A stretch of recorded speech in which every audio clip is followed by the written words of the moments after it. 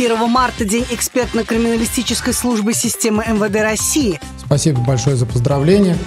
А, отмечать мы будем дома с семьей, вот, э, потому что это рабочий день, никто его не отменял.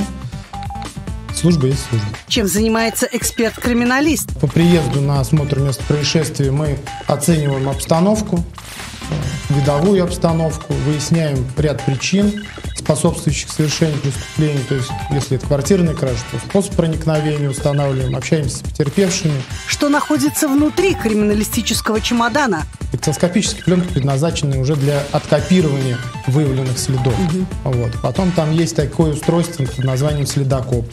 Э, данные устройства предназначены для обнаружения и изъятия полевых следов э, обуви. Смотрите программу «Город» с 1 марта 18.15. Гость в студии Леонид Черепенин, заместитель начальника экспертно-криминалистического отдела Управления МВД России по городу Самаре.